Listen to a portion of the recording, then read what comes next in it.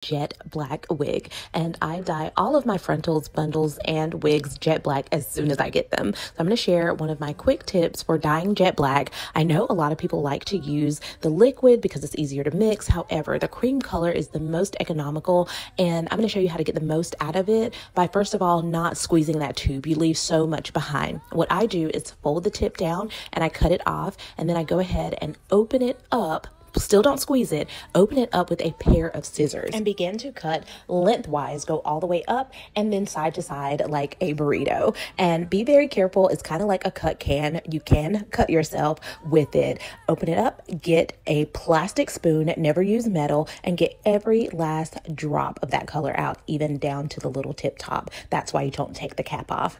And proceed to color your wig. There's so much control with the cream color. You can get right up close to the roots without dyeing your lace. So that's my jet black hack. Hope you like it.